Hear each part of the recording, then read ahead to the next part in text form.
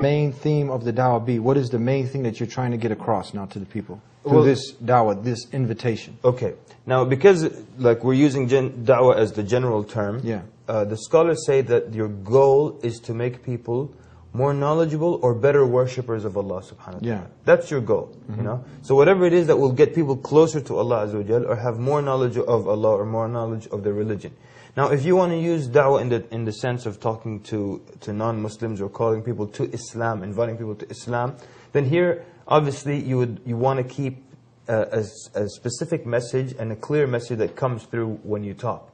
Because uh, a lot of times when people give da'wah in that case where they're talking to someone trying to tell them about Islam, they just throw random bits of information Yeah, yeah. at the person, hoping that something will stick and or something might strike the right chord and then they'll become Muslim. And that's actually not the right way to do it. The right way is to have an idea.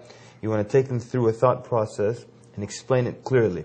But you also need to find out, you know, what obstacles they have, what other belief system they belong to, mm-hmm. because that's your obstacle.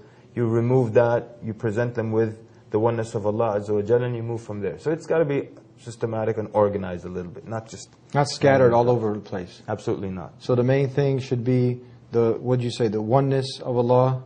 Yeah, suppose I'm talking to a, a non-Muslim, then I want to start, first of all, I need to know who they are, Yeah. right? If I tell you right now, Eddie, just outside this studio, there's someone who's not a Muslim, go speak to him.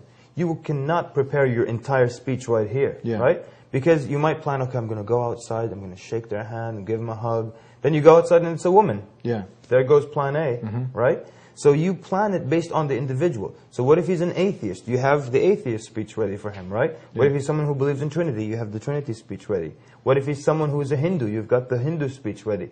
And what if he's someone who just has no religion and says, like, um, um, tell me about Islam? Then you've got the speech the, the, on, on Islam prepared. So that means you prepare your talk based on the individual. You don't have a, a, a you know a, a prepared rehearsed speech and you just give it to anyone you meet. Yeah. Right.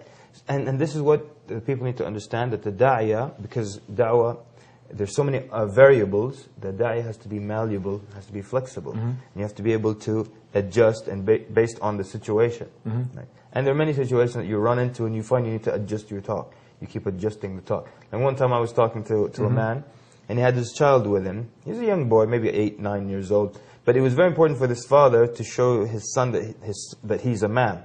So every time I spoke to the father, he kept telling me, You're talking to both of us, right? He wanted me to look at his son. Mm-hmm. So now I had to adjust my whole speech. I had to keep looking at him and spending a lot of time looking at this kid, mm-hmm. you know? So it's not something that I would have been used to or, or, or, or put in mind before, but I had to now adjust my speech to, to satisfy that.